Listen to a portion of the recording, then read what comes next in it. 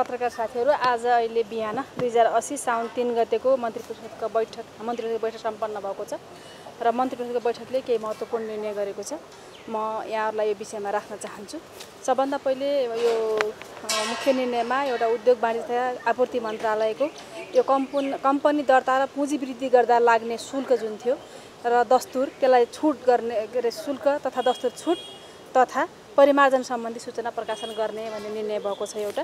र अर्को हाम्रो संयुक्त राष्ट्रसङ्घको खाद्य तथा कृषि सङ्गठनको मुख्यालय इटालीमा आयोजना हुने युनाइटेड नेसन्स फुड सिस्टम दुई हजार तेइस स्टकिङ मोमेन्टमा सहभागी हुन सम्मान्य प्रधानमन्त्रीज्यू को भ्रमण स्वीकृति गरेको छ। यो पहिला पनि भएको थियो र यसलाई यसमा प्रतिनिधि मण्डलमा मान्य कृषि तथा पशुपन्छी विकास मन्त्री समेतको प्रतिनिधित्व रहने व्यवस्था भएको छ। र अब अर्को विषय चाहिँ हाम्रो यो स्वास्थ्य तथा जनसङ्ख्या मन्त्रालयको प्रस्तावमा शहीद गङ्गालाल राष्ट्रिय हृदय केन्द्रको सञ्चालक समितिको सदस्यमा त्यही हस्पिटलका डा डाक्टर रवि मल्ललाई नियुक्ति गर्ने निर्णय भएको छ। धन्यवाद।